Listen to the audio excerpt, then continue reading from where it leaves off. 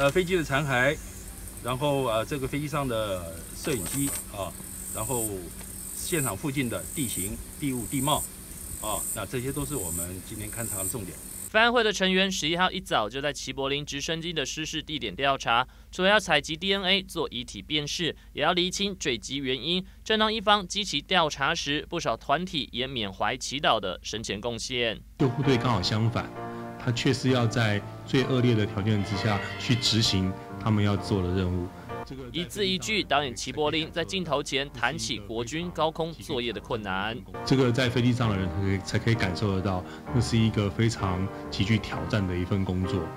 如果没有强烈的使命感，没有很很大胆的呃那种胆大心细的呃飞行的技术，其实是很难去执行这样的任务的。用自己的经验鼓励，也感谢空军的辛劳。原来齐柏林过去也曾帮空中救护队拍摄《看见台湾慈航天使》的主题，呈现海鸥救难直升机在高山或大海救援的状况。由于双方合作密切，军方不舍的同时，也用影片向祈祷致敬。